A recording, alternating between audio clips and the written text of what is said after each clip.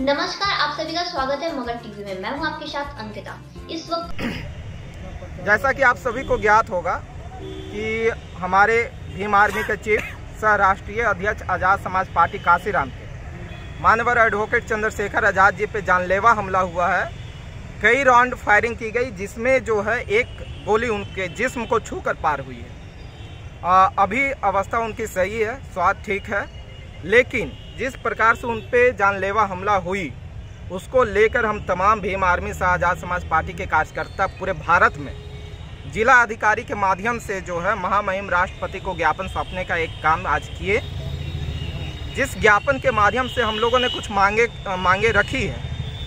मुख्य मांग है कि बड़े भाई एडवोकेट चंद्रशेखर आज़ाद जी को जेट प्लस सुरक्षा मुहैया करवाया जाए। दूसरी मांग है कि जितने भी अपराधी हैं और जो इसके पीछे का षडयंत्र करता है उसको तत्काल गिरफ़्तार किया जाए और फास्ट ट्रैक कोर्ट के माध्यम से उनको जो है उचित कार्रवाई करके उनको सज़ा दिलाने का काम करें। क्या लगता है कि कौन लोग शामिल हैं ऐसे? देखिए आज आप जिस प्रकार से पूरे भारत में S C S T O B C और माइनॉरिटी के साथ भाजपा द्वारा संरक्षित गुंडों के द्वारा लगातार हमला किए जा रहे हैं उनके आवाज़ को दबाने का प्रयास किया जा रहा है और ख़ास करके वो व्यक्ति जो इनके लिए संघर्ष कर रहे हैं रास्ते पे उतर के, रोड पे उतर के, उनको जिस प्रकार से कभी गोली मारकर, कभी धमकी देकर उनको चुप कराने का जो प्रयास निरंतर किया जा रहा है, उसी के प्रक्रिया में एक एडवोकेट चंद्रशेखर आज़ाद जी पे भी जानलेवा हमला हुई है। और इस हमला को हम तमाम भीम आर्मी के कार्यकर्ता, आज़ाद समाज पार्टी के कार्यकर्ता नहीं सहेंगे। अगर इस ज्ञापन के माध्यम से हम लोगों ने जो मांगे रखी है वो दो से तीन दिनों में अगर पूरा नहीं होती है चीज़ों को लेकर आज आपने ज्ञापन दिया और क्या मुख्य मांगे आज हमने जो ज्ञापन दिया है हमारे नेता चंद्रशेखर आज़ाद पे दो दिन पहले गोलियाँ चली थी। गोलियाँ चली नहीं गोलियाँ मारी गई थी लेकिन वो बाल बाल बच गए।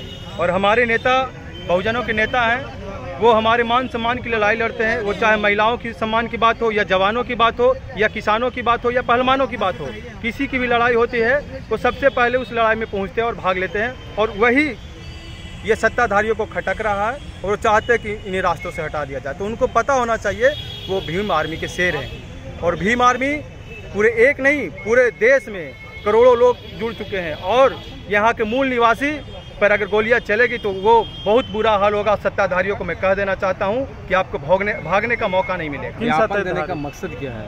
ज्ञापन देने का मकसद है कि हमारे सरकारी सुरक्षा तंत्र से जेट प्लस की सुरक्षा दी जाए हमारे नेता को। जब एक नाचने वाली को मिल सकता है जब एक ढोंगी को मिल सकता है जेट प्लस सुरक्षा तो हमारे नेता को क्यों नहीं मिल सकता? हमारी आवाज़ को उठाने वालों को क्यों नहीं मिल सकता?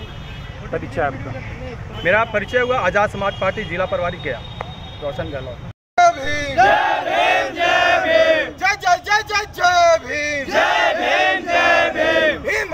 जिंदाबाद जिंदाबाद जिंदाबाद भीम आर्मी जिंदाबाद जिंदाबाद। आज़ाद समाज पार्टी जिंदाबाद। जिंदाबाद जिंदाबाद। आज़ाद समाज पार्टी जिंदाबाद। जिंदाबाद जिंदाबाद। एडवोकेट चंद्रशेखर आज़ाद जिंदाबाद। जिंदाबाद जिंदाबाद। एडवोकेट चंद्रशेखर आज़ाद जिंदाबाद। जिंदाबाद जिंदाबाद। अरे S C S T OBC हम भारत के मूल निवासी। S C S T OBC हम भारत के मूल निवासी। निकलो बाहर मकानों से। निकलो बाहर मकानों से। अमर रहे अमर रहे। बाबा साहब अमर रहे। अमर रहे अमर रहे। भारतीय संविधान जिंदाबाद। जिंदाबाद जिंदाबाद। भारतीय संविधान जिंदाबाद। जिंदाबाद जिंदाबाद। जय भीम। जय